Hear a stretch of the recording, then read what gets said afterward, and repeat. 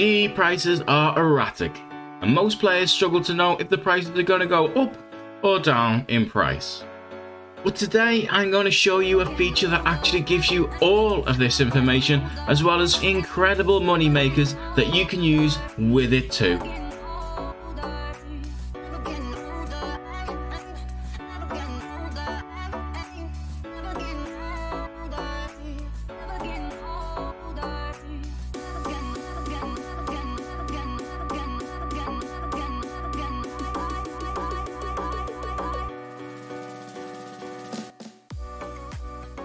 As players, for years we have been programmed to use the median price of an item, but this price only updates once per day and can be massively different to the actual price an item is currently buying or selling for on the GE. However, RuneLite now has a feature that tells you what the price has recently traded for, which literally tells you the exact profit you will make in all of the following money makers I'm going to show you before you even touch them. The beauty of these money makers is we are going to make one small change to an item. RuneLite will tell us when the item we create is rising massively in price and the item we buy is crashing so that we can make absolute bank without much effort at all. The first one I want to show you is a fairly well known method, but I wanted to start with this one as it highlights just how easy these methods are and how RuneLite will increase the profit margins. Wesley and Nardah will crush any item for you for 50 GP each, including noted items meaning you can give him a whole stack for him to do instantly. By simply looking up the normal version of any item on the GE to see the current sale price and the price of the item once it has been crushed, anything over 50 GP difference in price is going to give you a profit simply just by buying it, taking it to Wesley to crush it and selling it on the GE. We sell around 1 million crush nests every single day through the GE, so some of these items buy and sell incredibly quickly and you can flip tens of thousands per hour. The next method also works for free to play and is just as easy to do. If you're like me, previously you would have avoided making item sets as a money maker because you're worried that one piece might be rising in price and all of a sudden you make a loss but by having an up-to-date price you know exactly how much every item is going to cost you and also how much you're going to make by making a set. And there are tons of different item sets and lots of people would rather buy a set than to buy the items individually and risk that one of them from the set is not buying on the GE.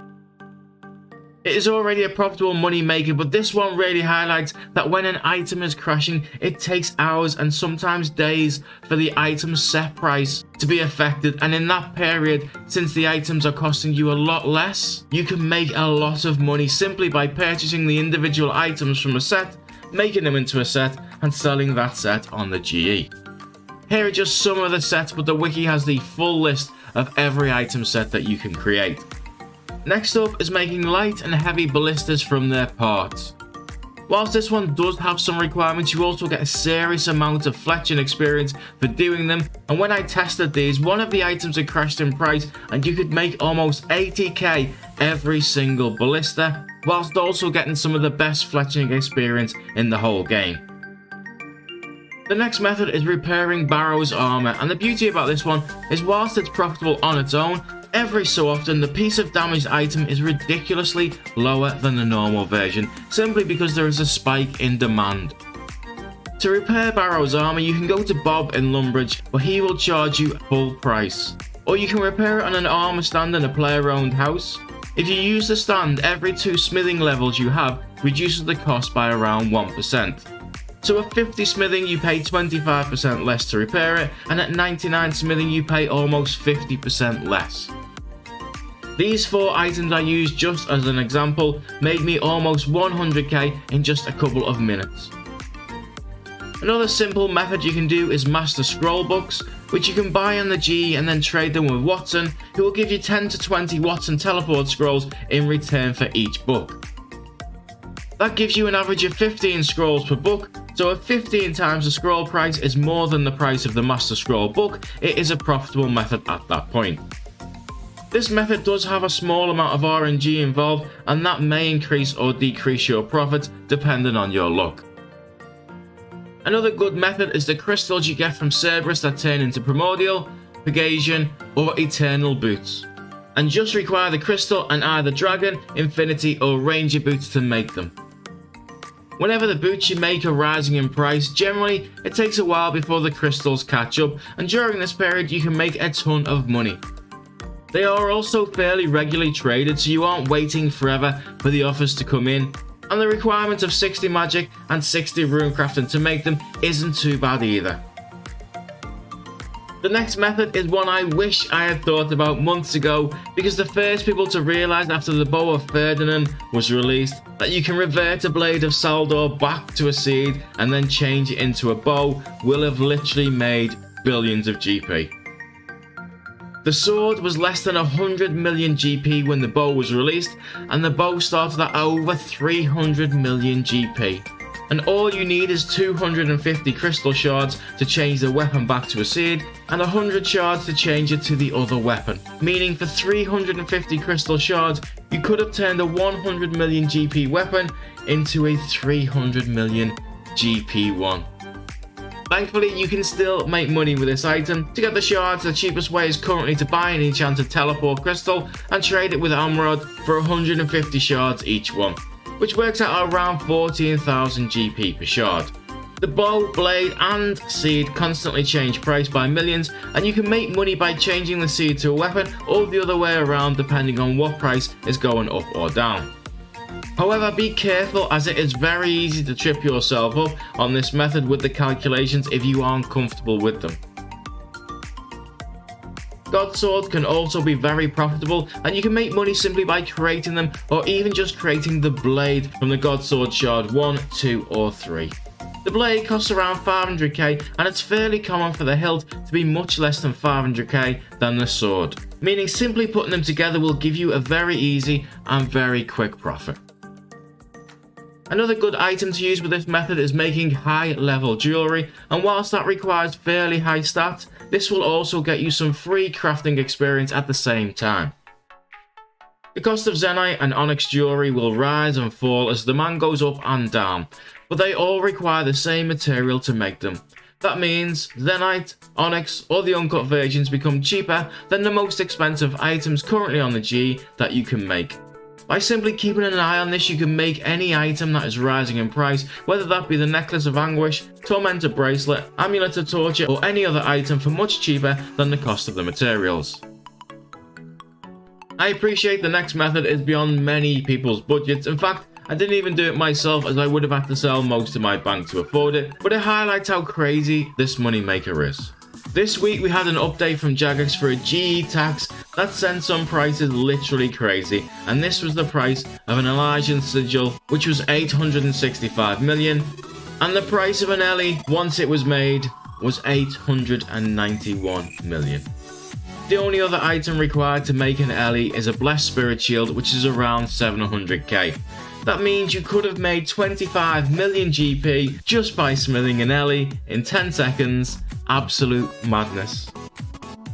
Obviously, this also works for the Arcane Spirit Shield and the Spectral, but it also works for other shields like the DFS and the Wyvern Shield, which has had a 1 million difference between the Visage and the Sigil for the last few weeks now, which is also a pretty insane profit for the work required. And he also wanted to highlight High Alchemy, because using the rune Runelite latest prices, it will give you a massive difference to how much you make. If you don't high alch a lot, you can use the site alchemate.com, which gives you all of the best items to high alch to start with. By simply checking the current sell price of these items, you can pick the ones dropping in price and make a load more when high alching or even just flipping. I purchased 1000 rune warhammers just to show this which cost me 23,552 GP each and have a high alch value of 24,900, making over 1,000 GP per alch after deducting the price of the runes.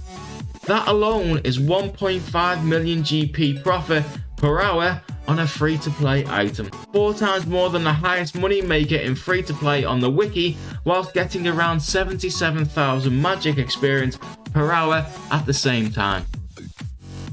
Next up is a fairly simple one, but it has no requirements at all, and it is simply buying giant egg sacks which contain 100 red spider eggs, opening them and selling them on the GE. Now if you haven't done this before, I recommend you open them via the bank. If you open them in your inventory, they don't stack, but if you do whilst you have your bank open and just right click on the item and select empty giant sack, it puts all of the eggs straight into your bank. So as long as 100 red spider eggs is trading for more than one giant egg sack, this will make you a profit. Another item that also makes a profit is converting Zamorak spears into Hastas, and all you have to do for this is talk to Otto, just south of the Barbarian outpost, and he will convert it for you for 300k or 150k if you have done the Elite Diary. I don't have it done yet, but I was still making 100k per spear, and with the Elite Diary you would have made 350k each one. Lastly is probably my favourite and whilst the profit margins may not seem massive, we buy and sell millions of potions we use a lot of every single day. Every potion comes in either 1, 2, 3 or 4 doses, but the prices aren't linked. That means by dividing the 4 dose price by 4, the 3 dose price by 3, and the 2 dose price by 2, that you get the price per dose of each potion simply by buying the cheapest variant of a potion and changing it to the most expensive one, using Bob in the southwest corner of the GE to decant them to whatever dose you require, you will instantly have a higher priced, very fast selling item. I tend to pick potions that we use a lot myself, and I also prefer to end up with either a 3 or 4 dose potion to sell if possible, as they sell much much quicker than the lower dose amounts. This flip literally took minutes to do, the potions bought instantly and sold in no time at all. This method is especially good if you're training something AFK at the G like fletching and making some nice easy money on the side.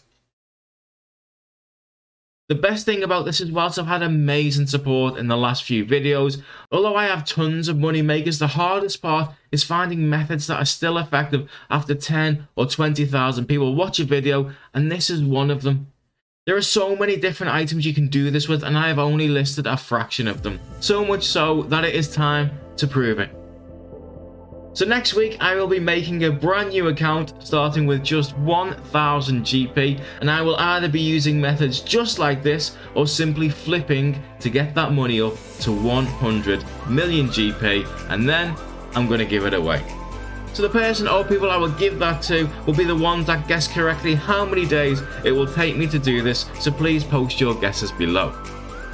The rules are simple, I can only do methods similar to the ones I have put in this video, or flip items, but since it will be a level 3 account, my main can help create the item if it has a requirement. Finally, I can only use each item for one day and then I can't use it again.